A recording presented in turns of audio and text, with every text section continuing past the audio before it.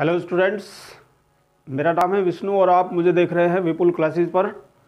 आज के इस वीडियो सेशन में हम डिस्कस करते हैं class tenth English chapter number seven part two part two का नाम है दोस्तों कुर्ग जिसको लिखा है लोकेश एब्रोल ने। और लोकेश एब्रोल एक प्लेस का वर्णन करते हैं जो यहाँ पर टाइटल हम पढ़ेंगे कुर्ग तो कुर्ग एक प्लेस का नाम है, यानी एक जगह का नाम है। तो कुर्ग जगह का वर्णन किस, कितने बेहतरीन अंदाज में लोकेश एब्रोल करते हैं तो ये आइए हम पढ़ते हैं, स्टार्ट करते हैं अपनी इस चैप्टर को। तो दोस्तों, लोकेश एब्रोल लिखते हैं कि जो हमारा कुर्ग है, वो कहाँ पर पड़ता है? तो ये कुर्ग जो है, हमारा इंडिया का एक प्लेस है। कर्नाटक का सबसे छोटा डिस्ट्रिक्ट है। तो कर्नाटक के सबसे छोटे डिस्ट्रिक्ट का नाम है कुर्ग, और ये कहाँ पर पड़ता है? ये मैसोर और मैंगलोर के बीच में एक जगह पड़ती है, और हम यहाँ पर बाई बस भी पहुँच सकते हैं, बाई एयरवेज भी पहुँच सकते हैं, लेकिन यहाँ पर वर्ष के कई महीनों तक लगातार वर्षा होती रहती है। ऐसा क्यों होता है? ऐसा वहाँ पर स्थित रेन फॉरेस्ट की वजह से होता है, क्योंकि वहाँ का जो एरिया है कुर्ग का 30 परसेंट एरिया कवर करते हैं एवरग्रीन रेन फॉरेस्ट तो यहाँ पर जो विजिटर्स के लिए जो समय होता है, यानी यहाँ पर विज़िट करने के लिए हम जा सकते हैं तो वो सितंबर से स्टार्ट होता है और वो मार्च तक चलता रहता है। यानी आप सितंबर टू मार्च वहाँ पर घूमने जा सकते हैं। तो ये एक प्रकृति की बहुत ही बेहतरीन जगह है और हमारे राइटर लोकेश एब्रोल लिखते हैं कि ये इतनी सुंदर जगह है, इतनी बेहतरीन जगह है कि मानो किंगडम ऑफ़ गॉड से, यानी भगवान से, भगवान के प्लेस से, यानी स्वर्ग से एक जगह को यहाँ पर अवतरित कर दिया गया हो। तो इतनी सुंदर जगह है, प्रकृति का बहुत ही आनंद है। तो किस तरह से कितने बेहतरीन अंदाज में वो डिस्क्राइब करते हैं, ये बहुत ही इम्पोर्टेंट है। तो माय डियर स्टूडेंट्स यहाँ तक हम पढ़ चुके हैं। तो देखिए, ये जो जगह है कुर्ग ये किस चीज़ के लिए ज़्यादा जानी जाती है? सबसे पहले ये जानना ज़रूरी है।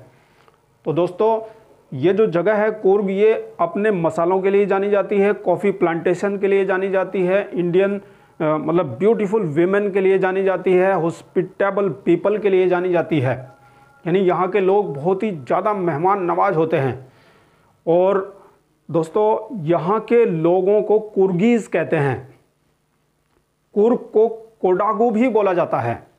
और यहाँ के लोग एक विशेष प्रकार की पोशाक पहनते हैं, यानी एक ब्लैक कलर का कोट पहनते हैं, ओवरकोट पहनते हैं और एक बेल्ट लगाते हैं, जिस पर एम्ब्रॉयडरी होती है, फूल कढ़ाई जिसके ऊपर होती है तो इस पोशाक को वो कोपियाँ बोलते हैं। और इसी प्रकार की सेम पोशाक जो पहनी जाती है, वो अरब में भी पहनी जाती है। अरब में ये वाली पोशाक कोफिया कहलाती है। तो इस वजह से माना जाता है दोस्तों कि ये अरब मतलब अरब के वंशज हैं। यानी ये अरबिक डिसेंट के लोग हैं। और एक दूसरी कथा भी इनके बारे में है कि ऐसा माना जाता है कि एक बार सिकंदर महान की सेना, यानी अलेक्जेंडर ग्रेट, की एक part of a part of army यानी अलेक्जेंडर द ग्रेट की सेना की एक टुकड़ी यहाँ पर फंस गई थी और वो बाहर नहीं आ पाए थे सैनिक। इस वजह से उन्होंने स्थानीय महिलाओं से यहीं पर शादी कर ली थी और यहीं पर रहन सहन स्टार्ट कर दिया था। तो ये माना जाता है कि वो ग्रीक डिसेंट से बिलोंग करते हैं, यानी ग्रीक वंशज हैं। तो दोस्तों, ये वहाँ के लोगों के बारे में है। वहाँ के लोग बहुत ही मेहमान नवाज़ होते हैं, बहुत ही ज़्यादा होस्ट होते हैं, बहुत ज़्यादा खातिर तोजा करते हैं, खातिरदारी करते हैं। और यहाँ के लोगों का विशेष स्थान होता है इंडियन आर्मी में, यानी इंडियन आर्मी में जो कुर्ग रेजिमेंट है, उसको एक बहुत ज़्यादा अच्छे तरीके से डेकोरेटेड है। तो मैं ये नहीं कहता कि वो रेजिमेंट डेकोरेटेड नहीं है, बाकी सभी रेजिडेंट डेकोरेटेड हैं, लेकिन उनको विशेष स्थान इसलिए प्राप्त होता है क्योंकि जो हमारे first chief of Indian army थे, वो कुर्ग से ही थे, जिनका नाम था करियप्पा। तो इस वजह से उनको एक विशेष स्थान मिलता है इंडियन आर्मी में। तो ये रही उन लोगों के बारे में बात। अब हमारे जो राइटर हैं, लोकेश एब्रोल वो वर्णन करते हैं प्रकृति की छटा का, कि वहाँ पर प्रकृति की छटा जो है किस प्रकार से देखने में बनती है। तो कहते हैं कि यहाँ पर जो 30 परसेंट एरिया है, वो 30 percent area evergreen rain forest का है। तो यहाँ पर कावेरी नदी बहती है और कावेरी नदी में जो पानी आता है, अधिकतर पानी तो आता है, माउंटेन से आता है और माउंटेन यहाँ पर हिमगिरी की पहाड़ियाँ पड़ती हैं तो हिमगिरी से यानी पहाड़ियों से आता है पानी कावेरी नदी में। लेकिन वो कहते हैं कि एवरग्रीन रेन फॉरेस्ट से भी पानी कावेरी नदी में जाता है।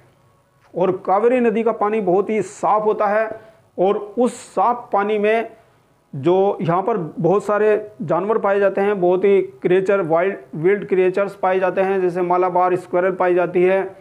तो मालाबार स्क्वायरल होती है, लंगूर होते हैं मंकीज़ होते हैं तो ये सब जानवर जो है क्या करते हैं, जो स्क्वायरल है, वो फल को काटती है, थोड़ा सा खाती है और फिर पानी में फेंकती है।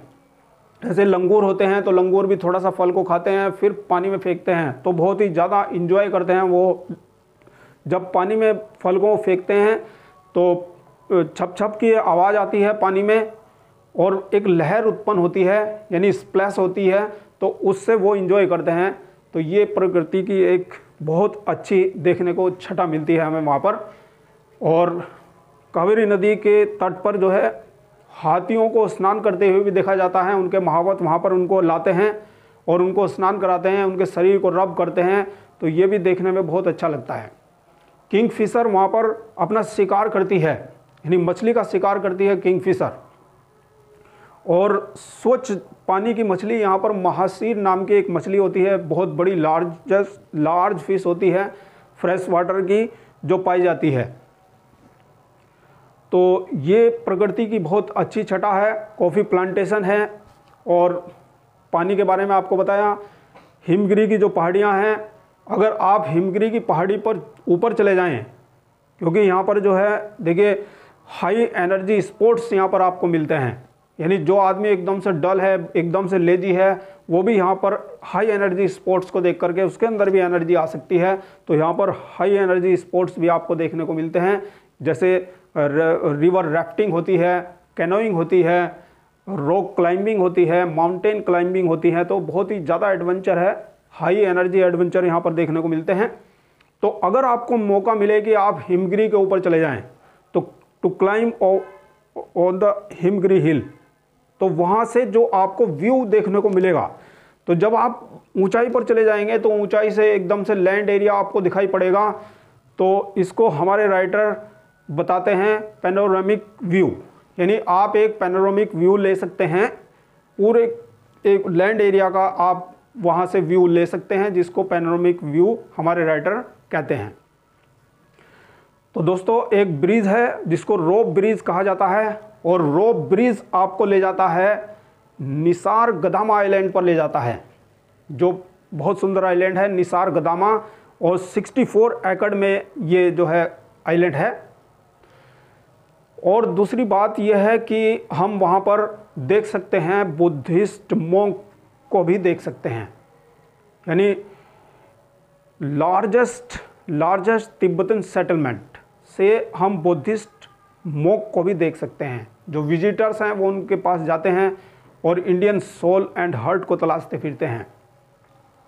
तो देखिए माय डियर स्टूडेंट्स इतनी सारी चीज़ें देखने को मिलती हैं। तो जो लार्जेस्ट तिब्बतन सेटलमेंट है, वो जो है पड़ता है बाइले कूपे के नज़दीक पड़ता है। तो ये सब कुछ बताया गया है।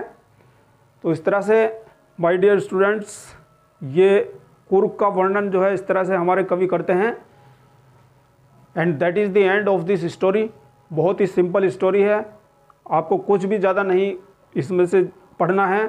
बस इतनी ही समरी आपको याद रखनी है, यानी कुर्क कहाँ पर स्थित है, कुर्क लोग कैसे हैं, कुर्क के लोगों लोगों का वंश क्या है, यानी कहाँ के वंशज हैं, और यहाँ पर क्या क्या चीज़ें मिलती हैं तो ये आपके लिए बहुत ज़्यादा इम्पोर्टेंट है, बहुत और ज़्यादा आपको पढ़ने की आवश्यकता नहीं है।